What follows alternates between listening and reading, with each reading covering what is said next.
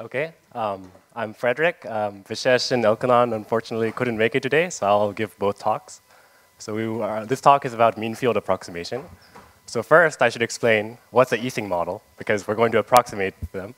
So an Ising model, you know, here's a nice picture. Oh, oh, this is the wrong one. okay, no, no, no laser pointer. So anyway, it's just um, a very simple probability distribution uh, on the discrete hypercube.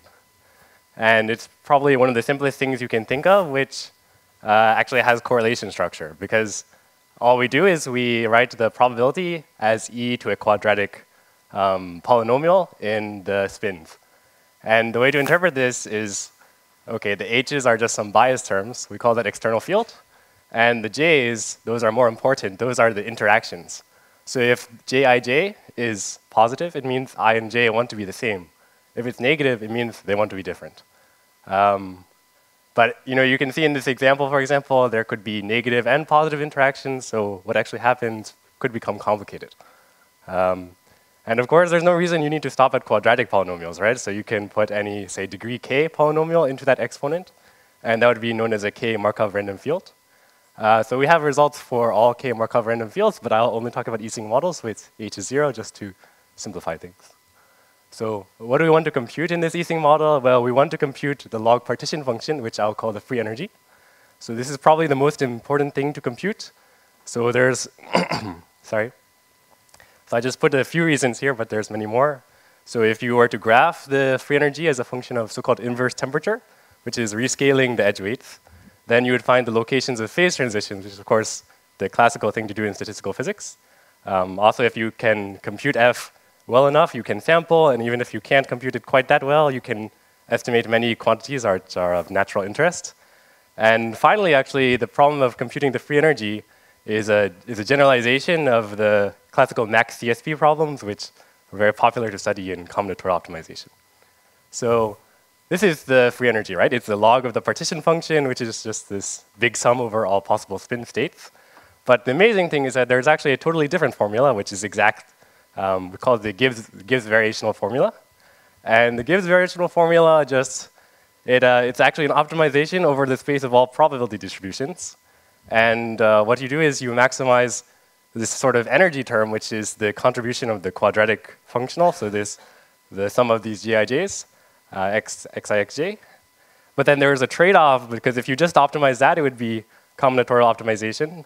Um, but you also have this entropy term, so that's gives this interesting trade-off, and that's what makes this a very interesting thing to compute.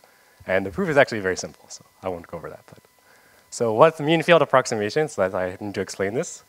So a priori, the Gibbs variational principle is optimization over all probability distributions. But we could try to simplify this by restricting to a simple class. So mean field, I restrict to product distributions.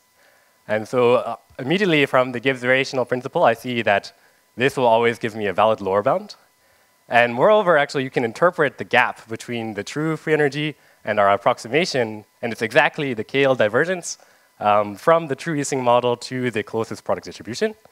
And to interpret the solution, you should observe that if you just differentiate this equation, um, the uh, critical points are just solutions of this thing called mean field equation. So I'll illustrate this very quickly with an example. So this is called a Curie-Weiss model. So I have all the edges are connected, and they have positive edge weights. So they all want to be the same. And I can write down the mean field equation, and it says that uh, basically my, the belief or the, this, this number at vertex i, it's just this tangent of this weighted average of all the other guys. So it's very easy to solve this. You'll see that if the edge weights, I'm scaling them by beta. If beta is below 1, then the optimal solution is all zeros, which is a uniform distribution. And if beta is bigger than 1, I get, um, there's actually two optimal solutions that are symmetrical. Um, and basically, when beta is big, these are close to all ones or all negative ones. So the thing to understand here is mean field, it matches a product distribution to the model, but it doesn't moment match. It tries to produce something which looks like a typical sample from the model. So yeah, obviously, uh, that's much different from moment matching. So this has been a big topic of interest recently, is how well does this mean field approximation work? So this is actually very classical, and for Curie-Weiss, it's known for a long time that this is a very accurate. But um, in general, I think the things really started with this big graph limits paper by Borgs, Chayes, Lovász, Sós, and Vesztergombi. And they showed this bound. Um, okay. Okay. Do I not use a laser pointer? Right, I'm not going to worry about this. Top? Okay, whatever. Um, oops, I spoiled it. Okay, so anyway, they showed this bound. Um, the thing about this bound is that it requires j infinity to basically scale like 1 over n. And the way to think about this is usually you need to scale your model as n goes to infinity by 1 over the degree. Um, so this actually just is a very strong density assumption. It's basically saying your model has average degree close to n. Um, so that was the state of the art for a while. And then there was a huge improvement by Basak and Mukherjee, who built on work of Chatterjee and Dembo. Um, and then this is further tightened by Eldan, and it produces this bound. And I won't go into the details, but you know, this bound is like way better than the other bound, and sort of applies to much sparser models uh, with basically average degree that's um, super constant. And, uh, but the thing about this is that both Basak and Mukherjee and Eldan use very sophisticated technology, um, which, okay, uh, it's, not, it's not super intuitive why these things are related to mean field. And, uh, but the good thing about this bound is it's actually tight in some examples. So um, now I'll just tell you what is our bound, is a new bound. So the, the big thing I'm proud of for this proof is that it's very simple. So, um, but there's other good things about it. So if you rewrite it this way, um, as the NGF to the two-thirds, then the exponent two-thirds is actually optimal. So this, this bound is maybe you know, tighter than all the previous bounds, and in fact, you can show that uh, it dominates all previous bounds up to the, there's a log term, which is actually unnecessary. So if you ignore that log term, it's actually always a better bound, and oftentimes it shows much, uh, much faster convergence rates. So let me just say there's also algorithms in this paper. So mean field, you know, how useful is it if we can't compute it? So in the de uniqueness regime, which is a high temperature regime for the model, we can show that just iterating the mean field equations is a very good algorithm. So it converges exponentially fast to the global optimum of the mean field problem. Um, and then in the case that the models are ferromagnetic, there's a more complicated algorithm which involves some classical Mark Markov chain results, which I won't go into details. But in that, in that case, the problem is genuinely non-convex, but there's a way to solve it. And uh, in general case, you can't solve it. I mean, it's just, uh, that's not so hard to show. But actually, um, if you look at our proof of the mean field bound, it's basically an algorithm. So you can actually extract an algorithm which gets this approximation. Um, and I'll just say that there's an algorithm by Risteski in a previous Colt, which worked in the same situation, but is a little bit worse. So it requires, um, basically, there are some examples where this requires polynomial time, but R actually just requires constant time. Um, yeah, so we have improved uh, Risteski's result. Um, how much time do I have? Okay, so yeah, I'll just talk a little bit about the proof sketch.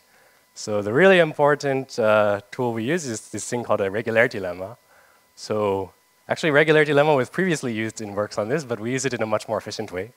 Um, so what is a regularity lemma? It's always something that decomposes some arbitrary object into a structured part and a pseudo-random part. So to visualize the structured part, I have this little picture. So basically, um, it's a sum of these things called cut matrices, and they sort of represent uh, dense bipartite weighted graphs. And the idea is basically, if you think of these thing models as a graph, it looks like the combination of all of these bipartite graphs um, with some pseudo, pseudo random noise, which is just not drawn in the picture. Um, and the other fact that we use in a very crucial way is just this subadditivity of entropy, which is really uh, you know, the thing that's special about product distributions. Um, yes, I think I'm not going to explain this in detail, but basically weak regularity okay, gives you a way to decompose the quadratic form into a very simple part and a part that's a pseudo-random part you can actually ignore. Um, and the thing that's important is actually there's only, uh, if maybe if I go back to this picture, I'm actually just going to count all the, for every state, there's only so many possibilities for the number of elements that are spin plus in each Ri or Ci. So I'll just cluster the spins by all this information. So there's not too many, so many clusters. And then I'll just extract the best cluster. And finally, there's a trick where I use max entropy to guarantee that I can find an even better product distribution. So I'll get some nice results once I optimize epsilon. And that, that's basically the proof. So just a quick summary is we have a much simpler bound for mean field approximation now. Um, we have new algorithms for estimating log z. They don't require any kind of correlation decay, which is usually the case for Markov chains. And you can't get really a better algorithm unless p goes on p. And there are some good open problems, but I won't explain them now. Yeah.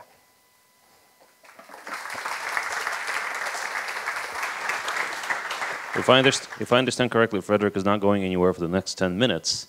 So why don't we hold the questions off until his second talk is over? All right.